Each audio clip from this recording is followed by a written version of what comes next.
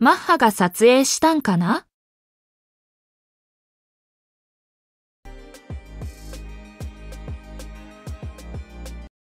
ファッションモデルやタレントとして活躍する藤田ニコルが9月26日に自身のインスタグラムを更新し、新婚旅行でハワイを訪れたことを報告した。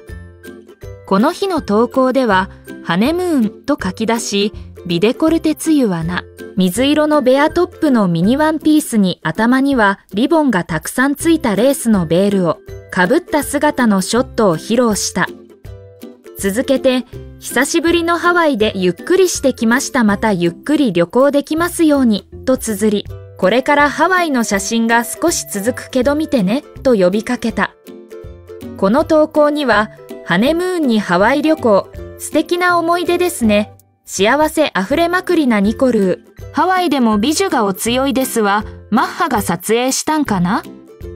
こんな可愛い嫁さん最高や、などのコメントが寄せられていた。